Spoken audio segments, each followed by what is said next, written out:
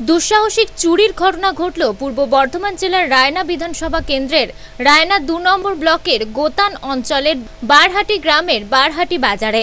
জানা গেছে, ওই গ্রামেরই বাসিন্দা তাহের আলী মিদ্দে একটি মুদিখানা দোকান ছিল। রাতে ওই মুদিখানা দোকানের উপরের ছাদ ভেঙে প্রায় হাজার চল্লিশ টাকা এবং খাদ্য সামগ্রী চুরি করে নেয় দুষ্কৃতীরা। কত টাকা এখান থেকে চুরি হয়েছে? রাত্রি একটা থেকে দেড়টার মধ্যে ঘটনাটা ঘটেছে। তা টাকার পরিমাণটা মোটামুটি সমস্ত নিয়ে পঁয়ত্রিশ থেকে চল্লিশ হাজার টাকার পঁয়তাল্লিশের মধ্যিখানে এই জায়গাটার টাকাটার পরিমাণ এবং খাবার সামগ্রিক দ্রব্য জিনিসগুলো শুকিয়ে গেছে। আচ্ছা, এই- এই নিয়ে কবার এই এই নিয়ে কবার ডাকাতি হলো আপনার দোকানে? এর আগে একবার বছর পনেরো আগে একবার হয়েছিল আর এই একবার দ্বিতীয়বার তৃতীয়বার হয়েছিল। আচ্ছা প্রশাসনের পক্ষ থেকে আপনাকে কি আশ্বস্ত করেছে? হ্যাঁ প্রশাসন এসেছিল সিভিক ছিল সে প্রত্যেকেই আশ্বস্ত করেছে যে দেখছি ঘটনাটা। এলাকার জনপ্রতিনিধি এগিয়ে আসে। এবং ওই দোকানদার তাহের আলী মিরদেরকে আশ্বস্ত করে যে পুলিশের নজরে আছে বিষয়টি। এছাড়াও রায়না দু নম্বর ব্লকের যুব সভাপতি জুলফিকার আলী খান উপস্থিত হন এবং ওই দোকানদারের সঙ্গে কথা বলে বিষয়টি জানার চেষ্টা করেন। তো ব্যাপার। তো সেই জায়গাটা এনার দোকানে টায়ার আলী মিত্রের দোকানে যে ডাকাতিটা হয়েছে, এর আগেও দশ পনেরো বছর আগে একবার ঘটেছিল। গতকাল রাত্রিরে আনুমানিক ওই সাড়ে বারোটা একটার পর ঘটেছে। অ্যাডভাস্টার উপর দিয়ে অ্যাডভাস্টার ভেঙে আপনারা দেখতেই পাচ্ছেন। অ্যাডভাস্টার ভেঙে ঢুকেছে।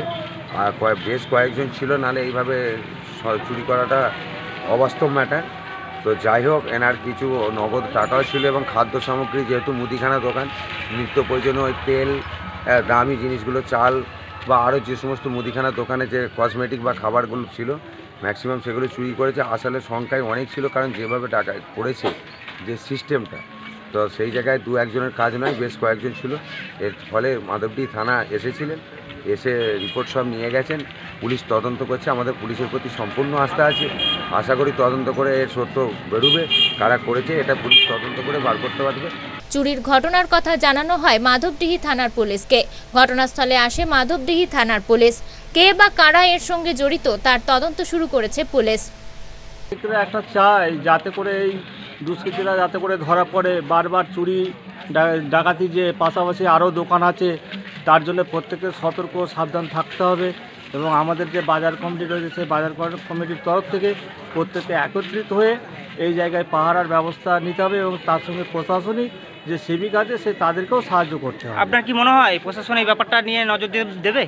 আশা করছি তারা রাখবে বা দেওয়া উচিত দেবে আশা করি। তারা সঙ্গে সঙ্গে খবর দিতে তারা এসেছেন এবং সিভিকও ছিল। আমাদের মাধবডি থানার পুলিশ এসেছিল এসে যথারীত তারা তাদের কাজ কর্তব্য করে গেছে। আপনার রায়না থেকে কৃষ্ণ সাহার রিপোর্ট আনন্দ বার্তা।